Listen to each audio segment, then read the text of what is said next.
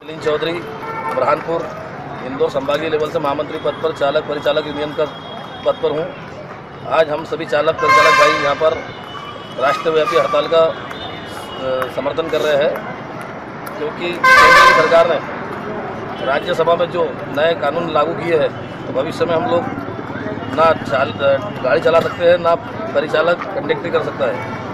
क्योंकि नए नियम जो है तो ये बाहरी विदेशी कंपनियों द्वारा जो यहाँ पर भारत में विदेशी कंपनियों की गाड़ियाँ जो ला, लाने का जो उनका चल रहा है तो उसमें कंडक्टरी नाम की चीज़ ख़त्म हो जाएगी और जो ड्राइवर है तो इनका लाइसेंस जो है तो जो आज वर्तमान में जो चालू है ये लाइसेंस सब जमा हो जाएँगे।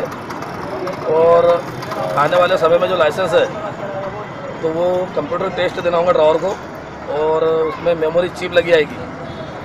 उस और लाइसेंस को हर साल रिन्यूअल करना पड़ेगा, जिसके अंदर की वो चीप रिन्यूअल पे जब साल भर में लाइसेंस जाएगा तो वो बता देगी, बारह पॉइंट अगर बता दिए तो चालक हमेशा के लिए ड्राइवरी नहीं कर सकता। इससे कई लोग बेरोजगार हो जाएँगे, क्योंकि हमारे ड्रावर लाइन के अंदर जो है तो 60 परसेंट लोग तो थोड़ा कम अनुभवी पढ़े लिखे हैं। तो जिसके कारण कंप्यूटर टेस्ट में अगर सफल भी होते हैं तो ये जो रॉन्ग साइड चलना सिग्नल तोड़ना, इस प्रकार की छोटी छोटी गलतियों में उनका लाइसेंस निरस्त कर दिया जाएगा। हाँ तो आपकी मांग क्या है?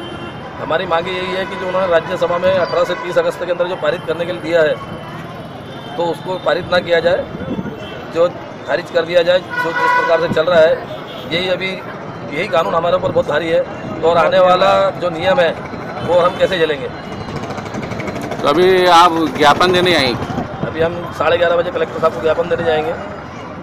अगर हमारी मांगे आज एक दिवसीय हड़ताल में नहीं पूरी होती है तो आने वाले समय में हम अनिश्चित